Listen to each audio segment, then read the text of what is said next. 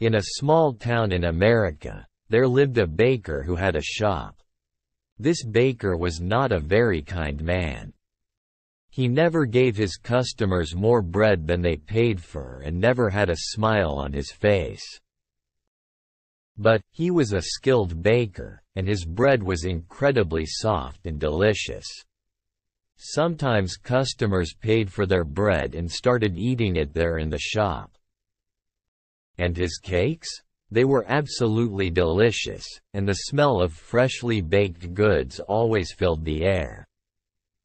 Because his cakes were really delicious, people came to his shop from all over town.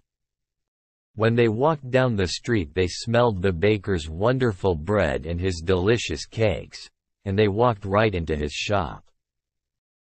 But not everyone came inside. Some people just stood outside the shop, smelling, and looking in through the windows. The baker didn't like this.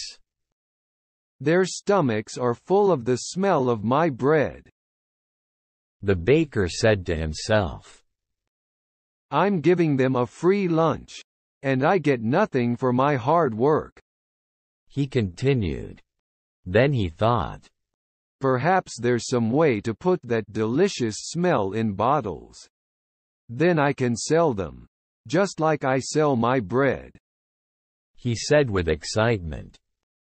One winter morning, very early, the baker was in his shop, making bread. He wasn't singing happily while he worked.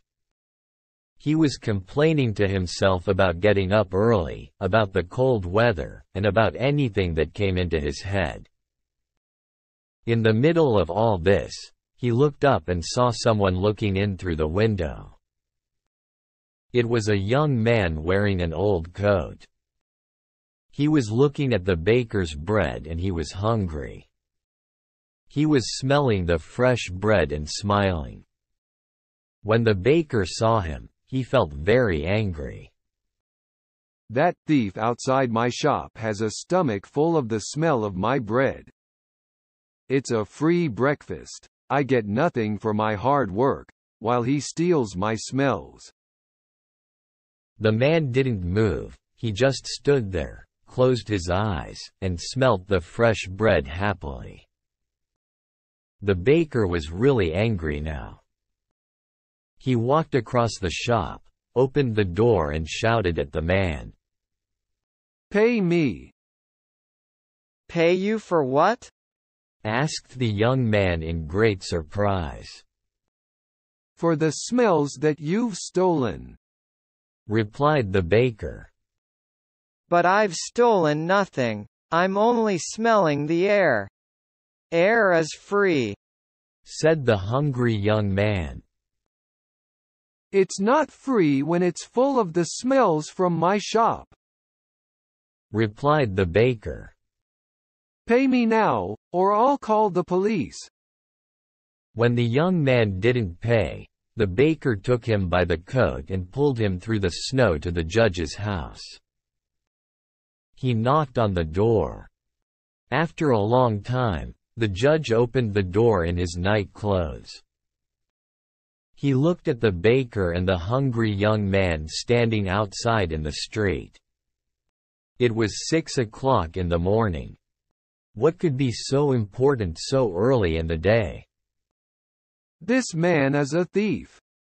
He stole the smells from my shop, said the baker. The judge was surprised. But all he said was, Come in and tell me your story. But first give me time to dress myself. He went back into the house. After a few minutes he came back, and he took them inside. They all sat down together round a large table.